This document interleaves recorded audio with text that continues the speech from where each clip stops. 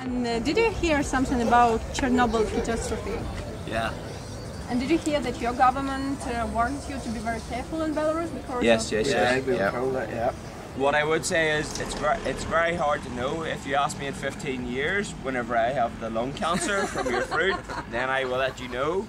But at the moment, I have only eaten the fruits of the forest, so we have to wait and see. It didn't stop us from. So far, so good. No cancer so We di- we far. didn't give it a May- second thought. Maybe next year we see. Did you taste something of local food? The forest fruits. The local food very good. Chicken burger. And did you watch uh, Chernobyl TV show? Did it change your opinion about Belarus and Ukraine, Soviet Union? Yeah, I took out the life insurance because I know whenever we whenever we get into Minsk, it's very it's very very good.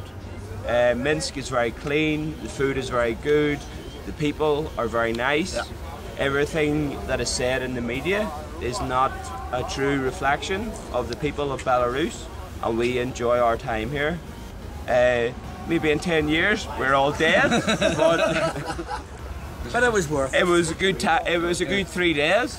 I Uh, think not because of Chernobyl, but because of this beer and what. yeah, yeah, no, no, no, no. It'll definitely be the Chernobyl that killed us. What did you know about our countries? Ireland and Nord were playing football. Uh, European Games 2019. Dairy produce, all produce is all Chernobyl. That's the information we got. And did you afraid of it? No. No. And did you taste something? Uh, McDonald's. Uh, the airport. Airport's very strict. Airport is very, very checking it thoroughly. Um, but yeah, no. Other than that, good food, good drink, good, and cheap. Very Is it cheap. dangerous? No, no. Uh, only the air that you breathe. How do you find Belarus, first? Fantastic, very uh, very cheap. We um, like the people. We um, but it is really really nice place. What about food? Did you taste something local? Yes. What, for example? Uh, what the, uh, the omelette? Uh, no, well it's not local. But had a. we had a local omelette. And did you hear any warnings of your government not to taste here berries, mushrooms, dairy Yes. Um, no forest fruits. No uh, wild mushrooms and no dairy products. But, But, but we, but we were didn't care. that. This morning I had uh, I had fruits on my porridge.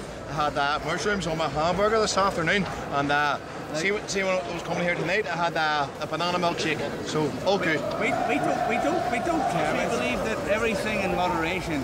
If, if you eat things every day, then perhaps you will um, get uh, exposed to things. But we're here for three days. It's just scary. So would you not eat no mushrooms or fruits? Do you eat mushrooms?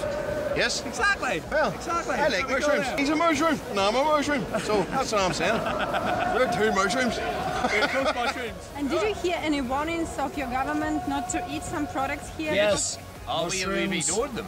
We vet them. We vet them. We've eaten the cheese, we've eaten the mushrooms, we've White eaten the berries. berries. We liked it. We like it. We like Hey, look, berries. we're still alive. When somebody says not to do something, we do it. And will you advise to come to Belarus to your friends? Absolutely. I'll be back.